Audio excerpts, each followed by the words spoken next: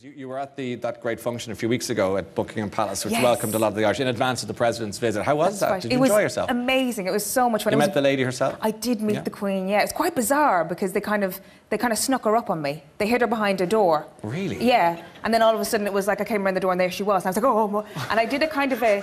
I, it wasn't a curtsy. It was my, like a kind of a line dancing move, I'd say. Well, kind can, of you, like, can, can, can you show us it? It was- Stand up and show it. I'll I- pretend to be the Queen. You- Okay, so, um, so I'm behind a pillar or something, Okay, right? yes, And, and- then I, I kind of go, and then hello. you, yeah, and then you're there. So I went. I came it this way, so I kind of went like.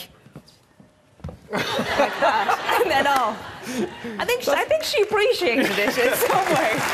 you want to twist around. yes.